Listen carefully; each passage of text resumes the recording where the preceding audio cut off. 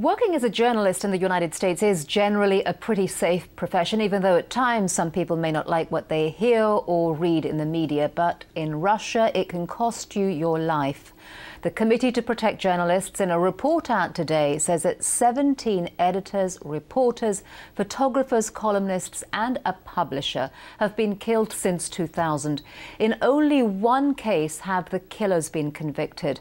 The CPJ says critical media coverage is effectively silencing discussion on sensitive subjects like corruption and human rights abuses. And for more on this, we are joined by Joel Simon, who is the executive director of the Committee to Protect Journalists here in New York. Joel, good to see you again. Thanks for having me. Why aren't um, more killers of Russian journalists being brought to justice? Well, in our report, we, ex we examined a number of reasons conflict of interest, incompetence um, but the overarching issue is a lack of political will.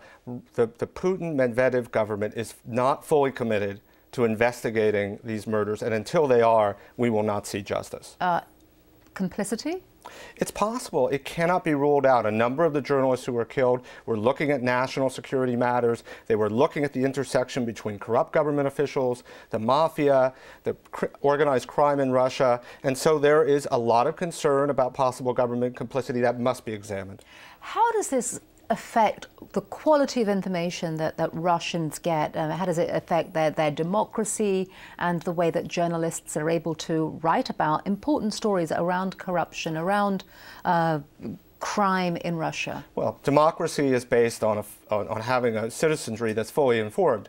That's not the case in Russia. You have the, the print media has been marginalized. There's essentially been, been brought under the control of the government. And what's left is a small kind of elite uh, print media that reaches a small sector of the population in Moscow, and journalists for that print media that write about national security issues, that write about the conflict in Chechnya and the North Caucasus, that write about human rights issues, they fear for their life. So, so when you bring out reports like this, is the Russian government paying any attention? They're paying attention, absolutely. Our delegation in Moscow met today with investigators who are looking into these cases.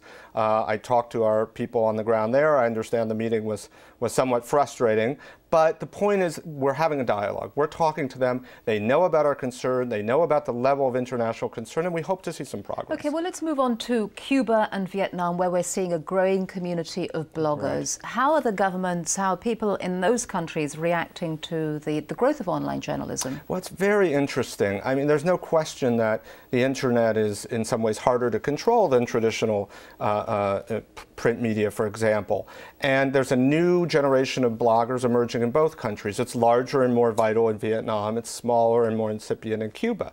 And in Vietnam, what we're seeing is the government really is getting concerned about this and cracking down. In Cuba, we're keeping a watchful eye. This is really a new phenomenon in Cuba to see how the government responds. All right. Joel, Simon, thank you very much for joining us. Thank you so much for having me.